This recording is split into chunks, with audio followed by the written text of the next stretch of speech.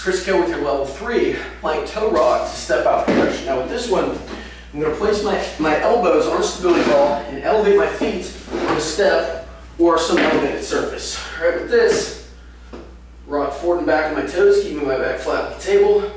Step out to one side, step out to the other side. All right, to make this, uh, to hit the more outer portion of our abs, the lateral obliques, I spread my legs wide.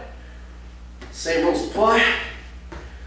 Inner portion, bring my feet together, rock forward and back, step out, step out. All right, make sure, again, you keep those form cues in mind. That's your level three progression.